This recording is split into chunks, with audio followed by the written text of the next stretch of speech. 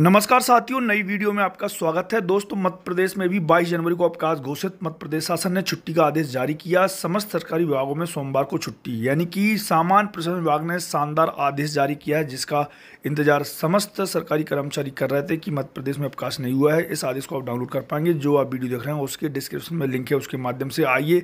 सोमवार को आधे दिन का अवकाश जारी हुआ है, उसको देख लेते हैं।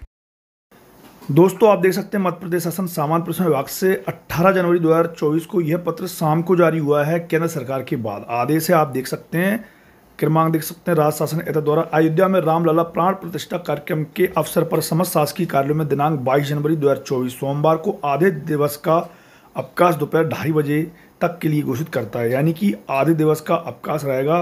सोमवार को आधे दिन आपके कार्यालय स्कूल खुलेंगे और मध्य प्रदेश के राज्यपाल के नाम से तथा आदेश अनुसार सचिंद्र राव हैं अपर सचिव सामान्य प्रशासन विभाग से और नीचे प्रतिलिपि भी दिया है तो दोस्तों, इस पत्र को आप डाउनलोड कर पाएँगे, जो आप वीडियो देख रहे हैं, उसके डिस्क्रिप्शन में लिंक है, उसके माध्यम से। यहाँ आप ज़रूर देख लें कि 22 जनवरी, सोमवार को आधे दिवस का अवकाश दोपहर ढाई बजे तक के लिए घोषित करता है। यानी कि दोपहर ढाई बजे तक का अवकाश रहेगा, बाकी आपको अवकाश खोलना है। तो वीडियो देखने के लिए आपका धन्यवाद। जय हिंद, जय भारत।